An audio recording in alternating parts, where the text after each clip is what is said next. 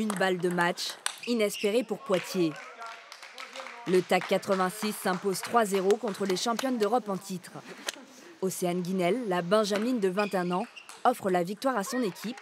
Son adversaire est mieux classé qu'elle, mais la Poitevine ne lui laisse aucune chance. Ça fait plaisir, ça fait 5 euh, matchs d'affilée que j'ai pas gagné individuellement, donc ça fait plaisir déjà de rompre avec la défaite. Et en plus, euh, bah, on gagne 3-0, j'amène le point de la victoire, donc franchement une soirée euh, bah, incroyable pour nous. Une soirée incroyable, mais à huis clos à cause de la crise sanitaire. Pas de quoi déstabiliser les Poitevines en noir et bleu face à l'équipe de Saint-Quentin. Le premier match donne le ton. Gianna Nuan triomphe de la numéro 1 française en 3-7 expéditifs. Second match plus disputé, mais la doyenne de 48 ans Yuan Zhang parvient à s'imposer 3-7 à 2 face à la numéro 2 française.